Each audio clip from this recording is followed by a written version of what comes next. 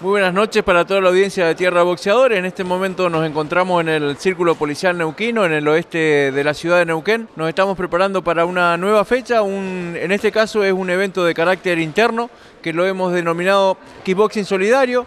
Se solicita un alimento no perecedero como entrada y todo lo recaudado va a ser donado a unos comedores, uno de Neuquén y el otro es de la ciudad de Plotier muy alegre en cuanto a la concurrencia, mucha aceptación de la propuesta, que si bien la idea es tener un, nivel más, más liviano, ¿no? de chicos que están ya en el rol competitivo, sino aquellos que se están adentrando en la competición, que están empezando o haciendo sus primeros pasos.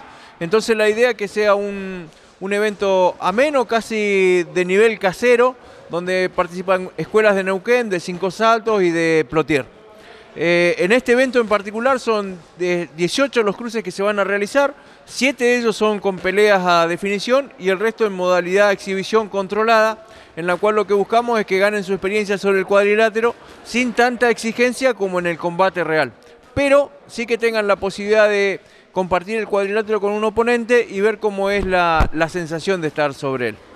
Em, en otro orden de cosas, bueno, desde el círculo policial este, se están organizando más actividades que si bien son recreativas, lo que se recaude en este evento en particular, en la cantina, eh, también va a ser destinado a realizar los festejos del Día del Niño para el día 20 de agosto, que es un evento donde participa esta academia y, vamos a convocar a todas las academias que están nucleadas en nuestra asociación deportiva.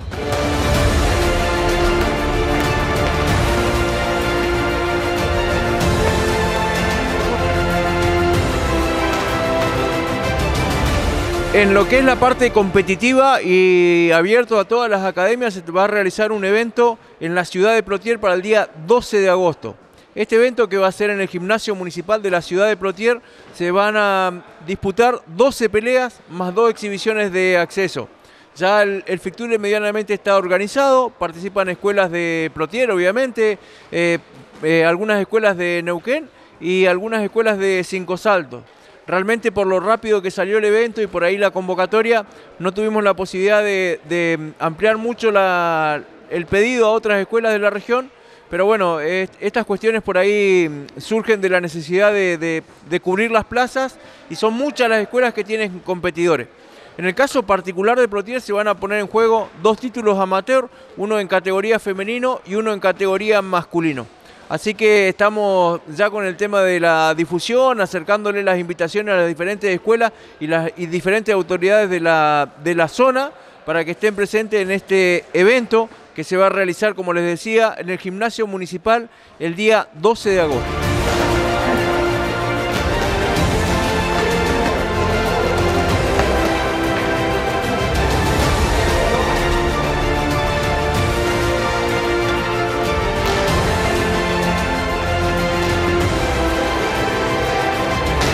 No nos olvidemos entonces, este viernes 21 de julio se va a hacer un torneo de kickboxing de nivel interno en el Círculo Policial Neuquino, calle Belgrano 4600, en el cual le solicitamos a todos aquellos que puedan concurrir que eh, traigan un alimento no perecedero que va a ser donado en dos comedores de la región.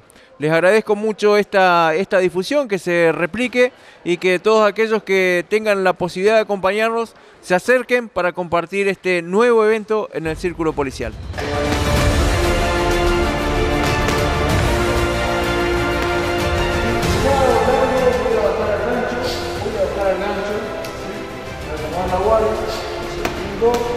entro al gancho, vuelvo con el mismo brazo en upper, recto, interno. Voy de vuelta completo, dos, gancho, upper, recto, interno. ¿Está? Vamos paso. Dos, gancho, guardia cubierta, importantísimo. Vuelvo, uso el upper largo para que entre el recto y ahí cierro con Aprovecho también esta oportunidad para mandar un, afectuoso saludo a todas las academias que están organizando eventos. En este caso eh, tenemos la novedosa expectativa con el evento que va a realizar eh, Daniel Veroiza, que va, va, a tener su primer evento en la ciudad de Neuquén, posiblemente en noviembre. Así que los mejores augurios para él.